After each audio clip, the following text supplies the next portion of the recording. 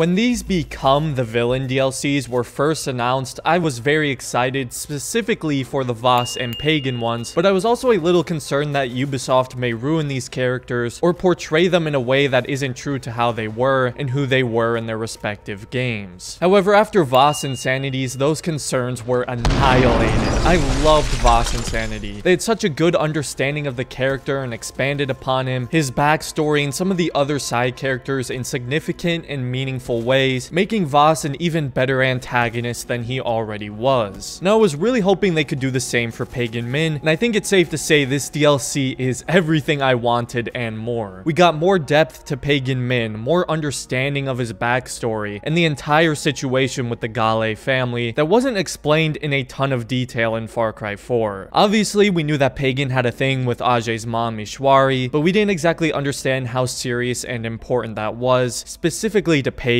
I understand Pagan Min so much better now as a character because of this DLC, and all the extra story and new information we learned makes total sense for the character. It doesn't feel out of place or retconned or anything like that. It feels like an understanding explanation for why this character is the way he is. And again, I'm gonna bring it back to his relationship with Ishwari Ghale because that is such an important focal point of the character and the DLC. Plus, we actually get to see Ishwari through Pagan's visions, which is cool because all we ever knew her as in Far Cry 4 was a jar of ashes, and we even get to see how she meets Pagan. May I present to you Ishwari Ghale, the Tarun Matara. My king.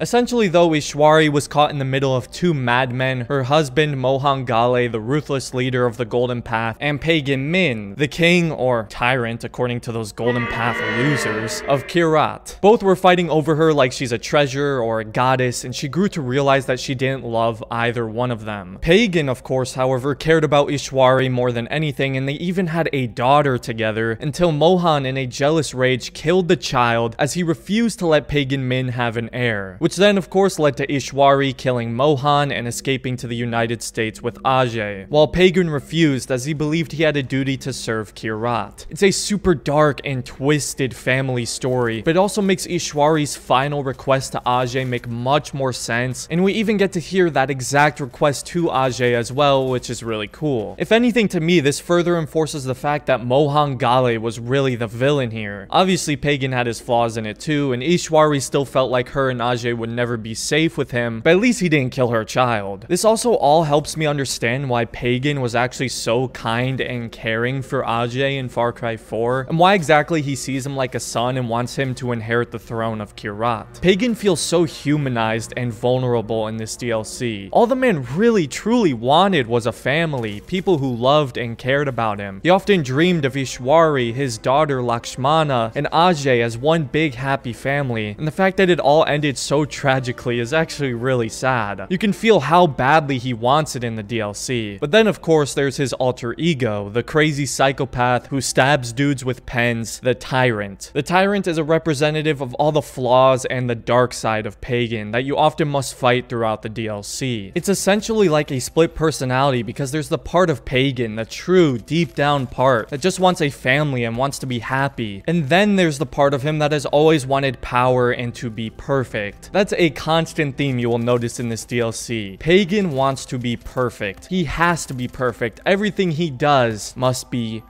perfect. His gold statues all around Kyrat, when he sees them all dirty and broken, he immediately needs to fix it. He needs his perfect image. The man even rewrites his own perfect ending for Far Cry 4, which was probably the most hilarious and favorite moment of mine in this DLC. his life, not only to protect his adopted son, but to save all of Kyrat. No, don't leave me. Don't leave me. Oh, love this country as I loved you, and as I love your mother. Oh, so this is what we're telling people now, are we? And what am I supposed to say? I was shot in my own dick. My helicopter was blasted out of the air. No, no, no, no, that's not a fitting end for me. I want people to think I'm dead, not boring. He's still that witty and charming character who has a ton of funny moments, and Troy Baker, the GOAT video game voice actor in my opinion, just voices him so well. He's honestly one of the most likable antagonists I've ever seen. I'm gonna military was quite useless, weren't they? I mean, this isn't so hard. That's because it isn't real. No one asked you.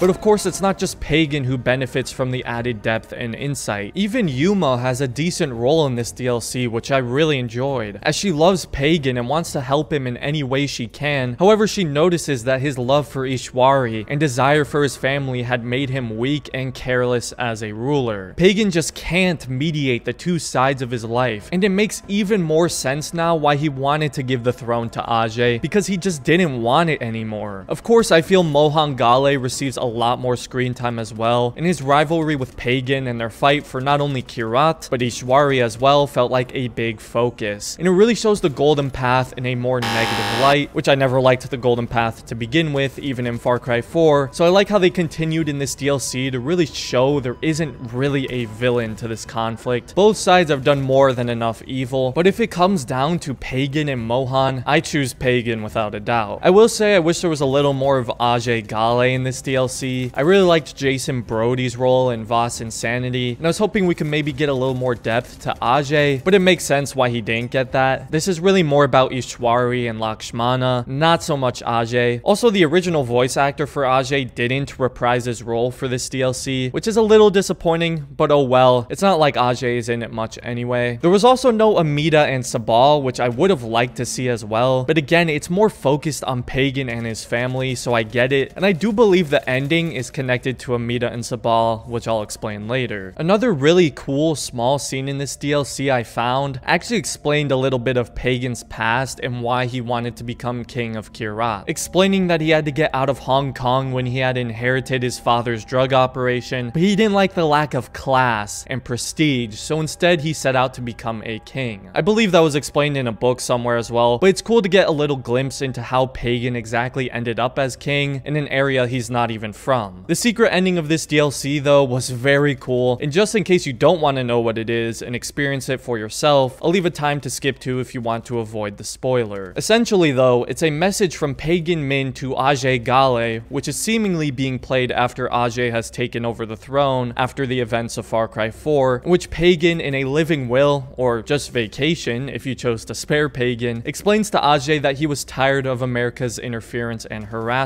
of his and Kyrat's affairs, especially considering the CIA hired Ajay to kill Pagan. So Pagan tells Ajay he spent a ton of money on nuclear weapons pointed at where, you might ask? Hope County, Montana, implying that the bombs that dropped at the end of Far Cry 5 were actually sent from Kyrat, therefore directly connecting Far Cry 4 and Far Cry 5, which is very cool. Now, as I mentioned earlier, I believe the person who sent these missiles was none other than Amita or Sabal. Somehow they took over the throne and used them because I don't see Ajay raining fire for no reason on the country he grew up in. And I really like how the ending of Far Cry 4 still remains completely the player's choice. This DLC works no matter what ending you may have chosen in Far Cry 4, and the game doesn't try and force a specific ending that's canon or anything. So whether or not Pagan is still alive during or after this DLC was completely based on what you chose in Far Cry 4. So I love how they left it open-ended. Now geez, I haven't even talked about the gameplay and stuff yet. Essentially, the DLC works a lot like Vaas Insanity, which I was pretty much expecting since it hasn't even been two months since the Vaas DLC came out. You have to collect the three pieces of Pagan's mask so he can hide his flaws, and you get one life, and if you die, it starts all over again. There's the same system with the mirror and permanent abilities you unlock with respect. Same currency, just a different name to fit the Pagan theme, and you get these skills and abilities you can loot in the world and place in your sockets. And of course, you get all your weapon cases where you can purchase and upgrade weapons for new attachments and increased damage that you have unlocked through the weapon challenges in the world. I really like this gameplay system. It's really fun. It has some very satisfying progression, and the fact you get one life makes every close encounter that much more intense and suspenseful as you could lose everything. Come on, come on. Ah. There's also the same style of missions in the world. Of course, there's the weapon challenges, safe houses, trials where you must kill waves of enemies to unlock an extra life perk, and delusions where you go through parts of Pagan's memories or thoughts. That often has the visions and extra story bits. I really enjoy this system and some people may have wanted something completely new, but I think it works very well still. The world also looks incredible. You guys already know Kyrat was my favorite open world of the Far Cry series, and even though this is technically in Pagan's mind, it looks stunning in this DLC. The vibrant colors, the Himalayan mountains, the massive projection of King Pagan hovering above the world, it aesthetically looks fantastic, and it was a really fun little world to explore. I also really like how all the guns have gold camos and Pagan Min does takedowns with the pen. It all fits that elegant, flamboyant style of Pagan, and it makes sense why everything would look like this in his head. Far Cry 6 is seriously killing it with these DLCs. First, the Vaas Insanity DLC that expanded upon and went deeper with the series' most iconic antagonists, and now with the Pagan Control DLC that allows us to understand more inside the mind of Pagan Min, what he wants, more of his backstory, why he does the things he does, and what led to his actions in Far Cry 4, as well as a fun gameplay system and gorgeous new world to explore. I definitely recommend this DLC if you're a fan of Far Cry 4 and Pagan Min. They've both always been very underrated in this series in my opinion. The DLC is $15, which isn't too bad, and you can of course replay the DLC as many times as you like, with all the different mind levels and rewards. The next and final DLC for Far Cry 6 is going to be Joseph Collapse. While admittedly I'm not as excited for it as I was for the first two because Far Cry 5 is more recent, however it'll be really cool to get in the mind of Joseph, maybe see the Seed family again, and the deputy, and hopefully a little more backstory to Joseph, especially since he's another one of those antagonists who doesn't actually feel evil. Joseph Collapse is set for March, so we'll see what that's like then. But feel free to let me know in the comments what you guys thought of the Pagan Control DLC, and what you hope to see from Joseph's DLC as well. If you're new here and enjoyed the video, I'd appreciate it if you left a like and consider subscribing to the channel. I make a lot of Far Cry videos on my channel, and consider checking out my video on Vaas Insanity if you haven't yet. Other than that, thanks for watching everyone, and have a good rest of your day.